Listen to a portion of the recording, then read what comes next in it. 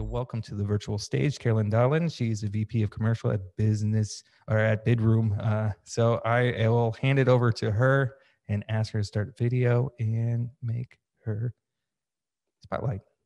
Hi, everybody. and thank you, Christian, for the introduction. Happy to be here today with uh, Claudia, Finn, and Henrik uh, to discuss sustainability and how we can uh, tackle uh, this topic in the industry and more specifically for me uh, on the um, as a hotel booking platform. So uh, just a short intro before we dive into uh, the presentation and let me share my screen.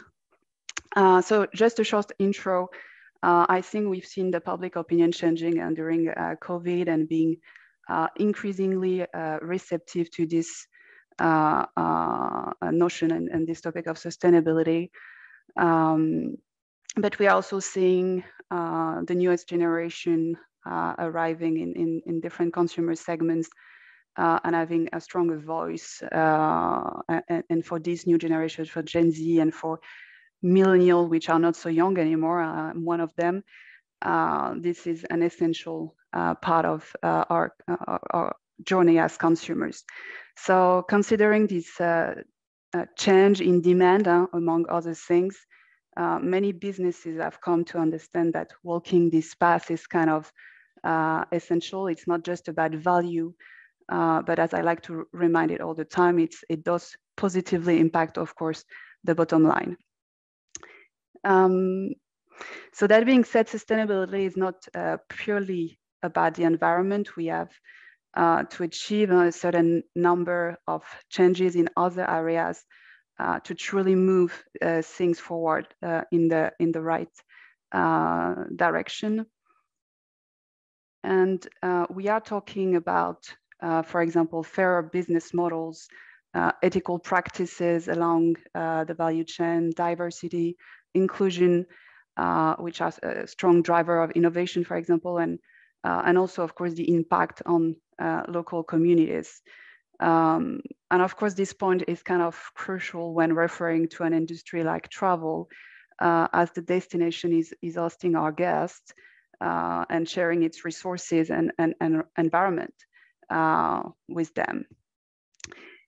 Um, so uh, the question is whether uh, the path you choose is consistent enough uh, with actually being seen as credible uh, by travelers. And I will stop just a second on the notion of greenwashing.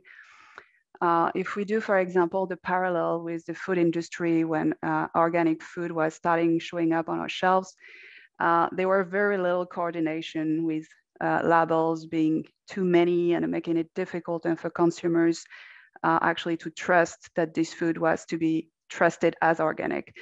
Um, so I think before going into how the industry is working towards global standards, uh, I feel that the, the first thing to do is, of course, to be committed as a business from A to Z and avoid uh, greenwashing by, uh, you know, that consists into integrating green elements into your communication, um, whether in the form of text or visuals, and without actually following certain rules and guidelines. Uh, which ideally will be provided by, uh, by a recognized organization out there, which are there to, uh, to help us. And I will be um, talking about them in a second. Um, so basically, there are many initiatives out there, but we need to help consumers now read this info and trust it. Uh, and I think it's all about standardization I added here a quote from uh, uh, product VP at Google who actually introduced this uh, eco tag uh, last September. And I think we're seeing that there are many initiatives out there and I will be talking about them. Um, so uh, if we are talking about standardization, we are also talking uh, about global criteria. And I will start with GSTC. So GSTC is the Global Sustainable Tourism Council.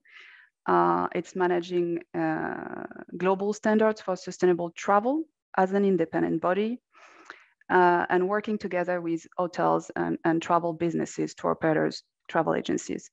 So these criteria, uh, which are defined by GSTC, are available uh, to the public. It can be actually a great idea uh, using them already and aspire to meet a, new milestone as a hotel, you know, starting your journey from this established criteria. So you can find the, the list online. Um, and what is important to, to see is that most of eco certification bodies out there follow uh, GSTC standards as a minimum when some of them have additional ones uh, or are actually going through different kind of auditing uh, with third parties, for example. So on top of that, GSTC accredits also some of uh, the certification bodies out there, should they require it.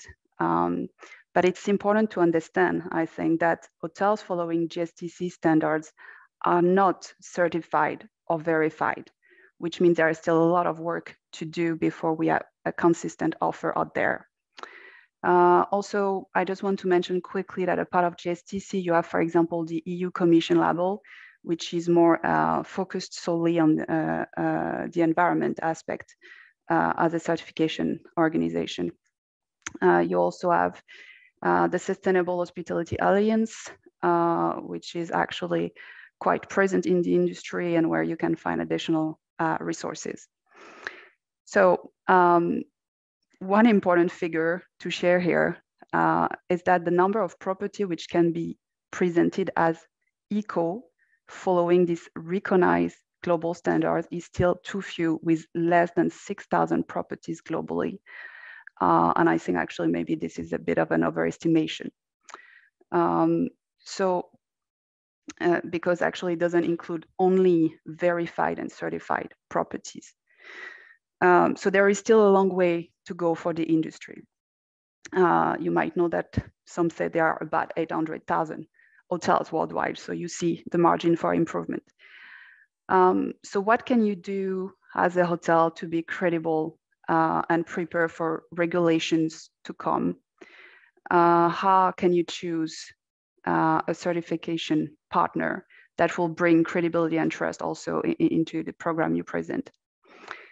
Um, so of course, if you choose um, one of these 200 certification agencies out there, uh, it comes down to uh, cost, you know, the complexity of the project, and it's about choosing the, of course, the program that works for you.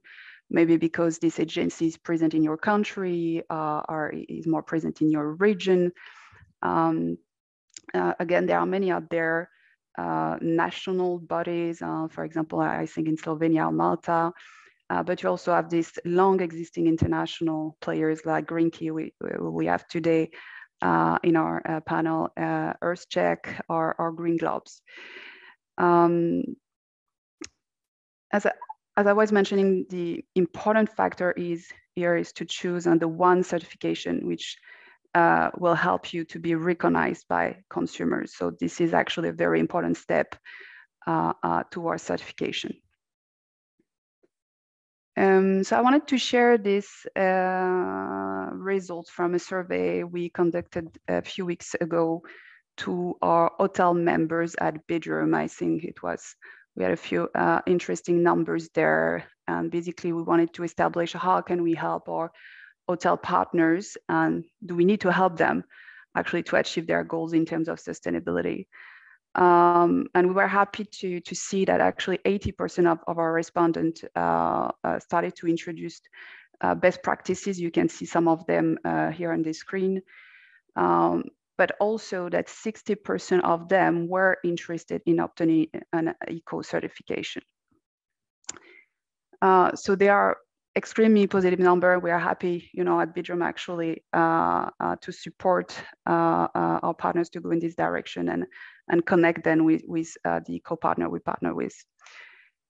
So um, I was mentioning earlier that uh, regulations are coming, and and probably it's a good idea pr to prepare. And I think this is the first reason uh, as a hotel business why you, you should uh, really uh, involve time and resources in there.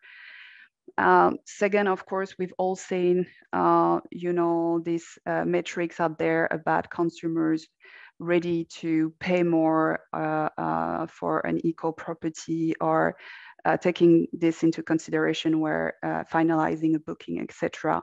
So we know and we see that the demand has changed and we need to be uh, ready to address it. And actually, I strongly believe that players will be you know, really tackling this uh, will be uh, uh, will be winning in the end. Um, then of course there are some you know uh, basics. Of course uh, by implementing this kind of program you will be saving on energy uh, cost. Some countries where you know resources are more scarce. I've been quite a um, I've been the first on going into this direction and actually having this kind of uh, green infrastructures. Uh, so this is quite an obvious one. And, and basically this is, you know, about the, uh, I believe the, the value uh, you want to convey as, as a business about your brand uh, and showing to your guests that actually you care, I think will be a, a huge differentiator. I often say that uh, when we travel, we're kind of going home away from home uh, we're not necessarily looking, uh, we're looking for exotism. We have different reasons to travel, but the kind of comfort we're gonna get, uh, uh comfort or, you know, the, the values we're gonna uh, follow uh, need to be in phase with what we do home. Um, you know, on a personal note, I don't know for yourself, but I feel really irritated when I'm not able to recycle at a hotel or when I'm being given plastic bottles for free in the room. Um, so, so uh, I think this is just, you know, important to acknowledge that our consumption as consumers in our daily life has changed and that hotels should only, you know, follow this change and be able to propose the same kind of uh, reality to their, to their guests. Um, so, but, but the thing is also that the demand has changed. However, we can see, and there are some uh, uh surveys about that, that uh, consumers are find it really not easy to actually find the the right information and you know uh, who to trust what to trust uh, what information out there. Um, and we actually conducted a survey to our uh, members our, our, our, b2c for this time uh, last week. And we actually confirmed this uh, with 24% of our respondents telling us that they didn't trust uh, this kind of eco certification labels. Uh, many commented that they only trust independent, non-commercial certification bodies. So, so there's really a lot of work uh, to do there. Uh, and you can see here also some interesting figures where actually, so 58% of our travelers include eco as a decision factor, while only 8% are ready, where only are 8%, which is already a good number, are ready to pay more uh, for this kind for this kind of properties. So I think another topic which is uh, becoming quite important uh, is CO2 compensation. Uh, and CO2 compensation in hospitality uh, can be tricky. So we're moving towards more regulation. We talked about it, and net zero carbon will soon uh, not only be a choice uh, for businesses, I believe. So clearly, uh, demand is increasing, uh, putting a lot of pressure on businesses. Uh, but also, carbon offset prices are set to be increased, uh, increasing by a factor of four to five this year. Um, so there are a few challenges ahead for industries and, and booking platforms dealing with hundreds of thousands of properties with very different carbon footprint, locations, operating model. Uh, and, and we can only hope that with uh, standardization, uh, which we were discussing earlier, uh, there will be, uh, uh, and, and the mass adoption of certain common practices, there will be a way to better calculate and offset at scale and more accurately the carbon footprint for, for customers. Um, so uh, the other things that at the moment, so there are uh, many tools on the market, of course, that can be integrated into your uh, booking flow. Here at Bidroom, we're working currently with Chooose. Um, uh, we are also cooperating with Squake at the Lufthansa Innovation Hub. Uh, you also have EarthCheck, who is also an eco certification body, uh, and many uh, others. Uh, but as I was saying, really the nut to crack today is about how we can calculate this carbon footprint uh, for accommodation. as this is really not accurate at the moment and we have to work with averages and start somewhere. The other thing is, are actually consumers ready uh, to pay for it or not? Um, and this is a discussion we have had with our partners, of course. Uh, uh, we can see that uh, uh, we can use it either as uh, you know ups, upselling an ancillary service, or we can use it as a marketing cost and basically compensate ourselves. And so far, conversion uh, from uh, users having to pay for this service is, is still quite low. So um, um, there are these two options, and, and, I, and I strongly believe going to the, the marketing cost is, uh, uh is a better option so far. So uh, that being said, I just wanted to finish this presentation by uh, telling you what we were doing at Bidroom uh, because of course I can talk about you know best practices, but I we also need to start by ourselves. Um, so I was saying that we have uh, uh, integrated this carbon offset tool with Chooose uh, actually two years ago already. So all um, our members can actually offset their trip. They receive uh, information in their booking confirmation, and we are working on a more integrated uh, uh, journey uh, in, the in the very near future. Uh, we've also developed uh, our own program to tag accommodation which have been eco-certified, meaning verified on our platform. Um, we are working currently with a few partners, which I will present afterwards. Um, so that's one thing. The other thing is that we, we actually, as I said, work on connecting our hotel partners with the uh, uh, certification bodies. And we are also working on bringing more uh, travel benefits to our users, which are uh, uh, green and uh, talking about mobility services, e-commerce, um, etc. and of course, we have made it um, a key focus in all our communications either uh, towards our hotel partners, either towards uh, our members. So I was talking about the eco tag we have introduced uh, back in September. Um, so we've been working with Green Key already for, for some time, also with the EU Commission, with EarthCheck, Green Globe. So all hotels who are working with, are, we, we, who are certified and recognized by these organizations are tagged uh, on our platform. And we just uh, joined uh, also GSTC, which uh, allows to tag as well the uh, eco certification bodies, which are certified by GSTC and which are listed here. So um, that was it uh, for today. Thank you for listening.